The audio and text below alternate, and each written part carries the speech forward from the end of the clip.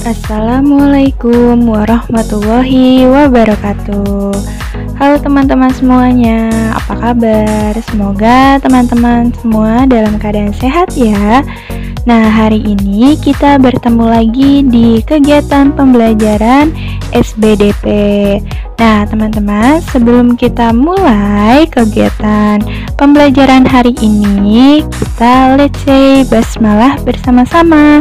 Bismillahirrohmanirrohim. Nah teman-teman SBDP hari ini kita akan membuat kerajinan dari bahan alam Nah, teman-teman simak alat dan bahan serta cara membuatnya ya. Alat dan bahan yang pertama, teman-teman silakan siapkan biji kacang merah, lem fox,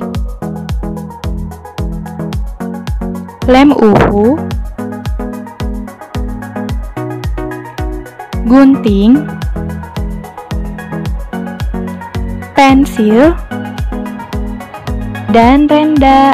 Nah, teman-teman boleh menggunakan renda ataupun pita yang teman-teman punya ya. Kertas asturo, kain flanel,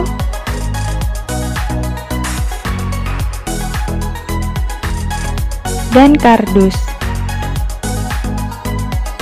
Cara membuatnya yang, yang pertama kita menyiapkan kertas asturo, kemudian kita lipat, lalu kita membuat pola gambar beruang.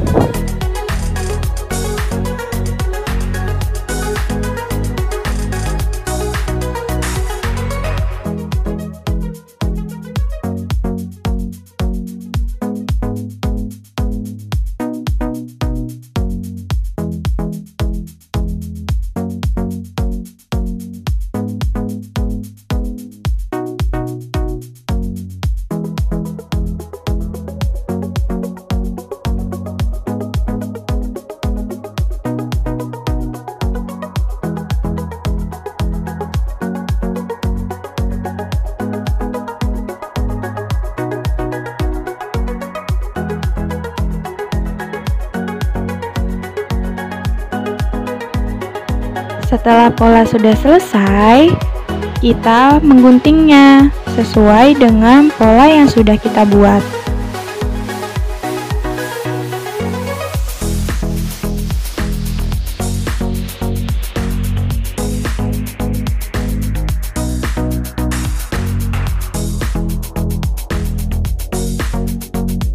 Kalau sudah selesai menggunting, saatnya kita untuk memberikan lem pada kardus. Lalu kita tumpuk kain flanel. Dan kita tumpuk lagi dengan pola yang sudah kita gunting tadi.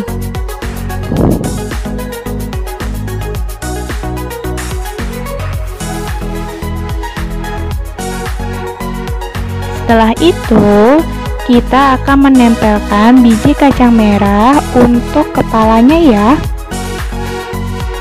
Berikan lem secara perlahan ataupun dikit-dikit terlebih dahulu ya teman-teman.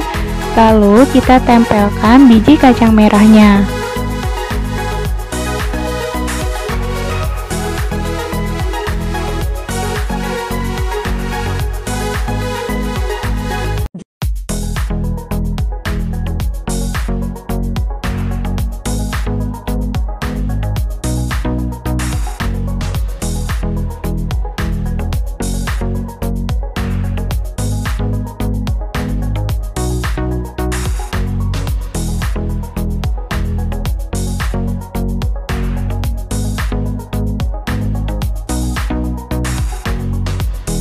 Setelah biji kacang merahnya sudah terisi sampai kepalanya penuh, kita membuat matanya dan mulutnya.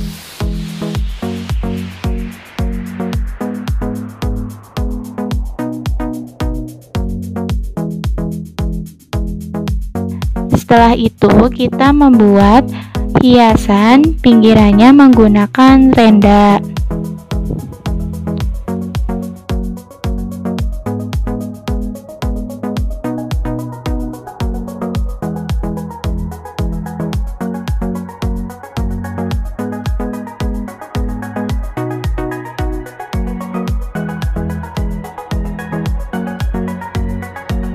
Dan kita membuat gantungannya.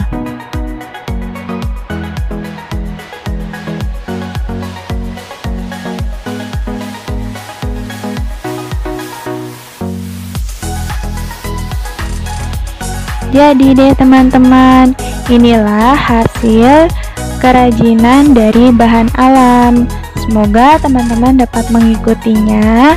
Selamat mencoba dan selamat berkreativitas. Bunda ucapkan wassalamualaikum warahmatullahi wabarakatuh.